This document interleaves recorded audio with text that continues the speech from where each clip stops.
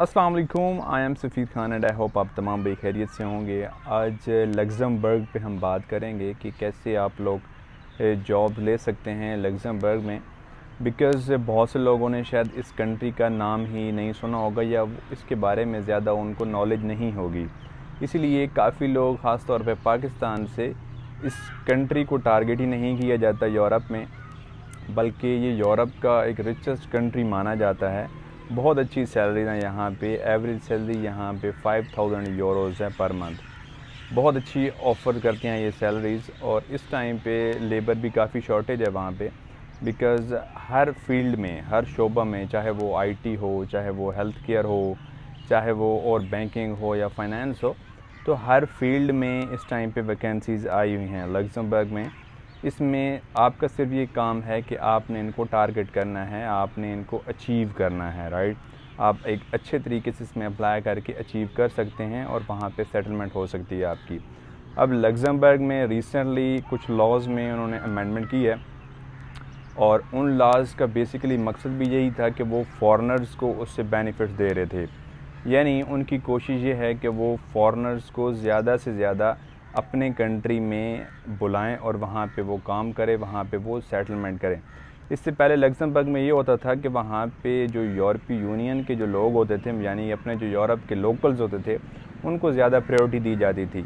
लेकिन अब उन्होंने जो लॉ अमेंडमेंट की है, उसमें उन्होंने बोला है कि हमारे पास जो फॉरनर्स आएँगे, उसका स्पेसिफिक एक कोटा रख दिया उन्होंने, कि ये जो हम जॉब देंगे, ये जो वैकेंसीज़ देंगे, ये सिर्फ़ और सिर्फ़ फॉरनर्स के लिए होंगे, यानी इसमें फॉरनर्स काम करेंगे।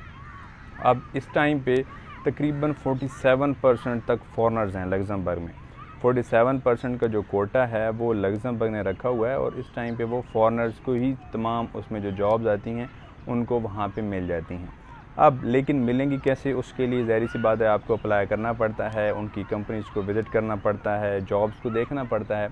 उसके बाद फिर आप अप्लाई करते हैं, फिर वहाँ से आपको उसका फ्रूटफुल रिज़ल्ट मिलते हैं। बहुत अच्छा ऑप्शन है इस इस तौर पे भी और ख़ास तौर पे वो लोग, जो लोग चाहते हैं कि वो फैमिली के साथ शिफ्ट होना चाहते हैं यूरोप में और वो अपनी फैमिली को वहाँ पे लेके जाना चाहते हैं या अपनी फैमिली को वहाँ पे साथ में रखना चाहते हैं, उनके बेनिफिट्स हैं कुछ लग्जमबर में। वो लग्जमबर में ये बहुत बड़े बेनिफिट्स हैं कि आपके जो वहाँ पे चिल्ड्रंस के स्कूल हैं, वो काफ़ी हद तक इंग्लिश मीडियम हैं, यानी वहाँ पे यूरोपियन लैंग्वेज की बजाय वहाँ पे इंग्लिश बोली जाती है स्कूल्स में, जो कि बहुत कंफर्टेबल होता है।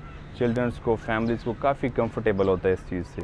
तो ये आपके लिए बहुत बड़ा बेनिफिट है। इसके अलावा जो आपको वहाँ पे रूल्स हैं और जो लॉज हैं आपके, जो हकूक़ वहाँ पे यूरोपीय यूनियन के बंदों के हैं यूरोप के लोकल्स हैं वो ही फॉरनर्स को हकूक़ मिलते हैं। अगर आपके साथ किसी भी चीज़ में, यानी आपके पास कोई कंपनी में या फिर कोई भी आप पे इस तरीके से कोई भी आपके साथ नाइंसाफ़ी हो जाती है वहाँ पे तो वहाँ पे आप डायरेक्टली क्लेम कर सकते हैं उनको।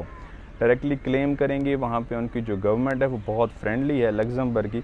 आपका वो साथ देते हैं और उनकी कोशिश यही होती है कि फॉरनर्स वहाँ पर रहें ताकि उनका जीडीपी मज़ीद ग्रोथ करे। अभी इस टाइम पे यूरोप का जो लग्जमबर्ग है, इसका जीडीपी काफ़ी अच्छा है, लेकिन मज़ीद भी उनकी ये कोशिश है कि जितने उनके पास फॉरनर्स आएँगे तो उससे क्या फ़ायदा होता है? कि उससे उनका जो टैक्स कलेक्शन है वो बहुत ज़्यादा होती है। जितनी टैक्स कलेक्शन उसमें ज़्यादा होगी, उसी उतने ही उस हिसाब से उनका फिर जीडीपी ग्रोथ में ज़्यादा इजाफा होता है। जीडीपी ग्रोथ जितना इजाफा होता है तो उसका जो कंट्री है वो ऊपर उठता है। जो उसकी इकॉनमी है, उसका इंडेक्स ज़्यादा बढ़ता है। तो ये तमाम चीज़ें हैं, वो अपने मुल्क के लिए सोचते हैं। तो इसलिए वो जो लॉज बनाते हैं या कानून बनाते हैं, वो भी अपने मुल्क के लिए कानून बनाते हैं। अब वो ये भी नहीं कह रहे कि हम जितने भी फॉरनर्स आएँगे, हम उनको बिल्कुल ही अपने हाथों हाथ ले लेंगे। हाँ वो उनके लिए कह रहे हैं कि जिनके पास जहरी सी बात है कुछ स्किल्स हैं, जिनको कुछ काम आता हो या जिनके पास कोई डिग्रीज़ हैं। बिकॉज़ काफ़ी लोग पाकिस्तान, इंडिया में इस टाइम पे ऐसे भी मौजूद हैं जिनके पास काफ़ी अच्छी अच्छी डिग्रीज़ हैं, जो काफ़ी पढ़े लिखे हैं। लेकिन उन बेचारों को जॉब्स नहीं मिल रही, वो जॉबलेस फिर रहे हैं।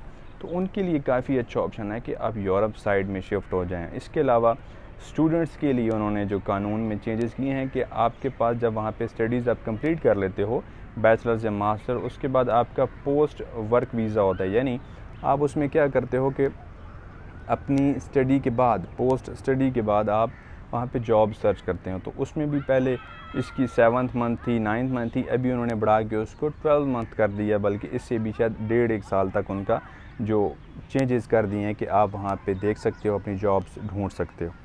हमारे जितने भी एशियन के लोग जाते हैं इन कंट्रीज़ में तो वहाँ पे स्टडीज़ करते हैं, साथ में उनको जॉब्स ईज़िली मिल जाती है बिकॉज़ वहाँ पे जॉब्स मिलना कोई मुश्किल बात नहीं है। तो आप ज़रूर इसमें अप्लाई करें।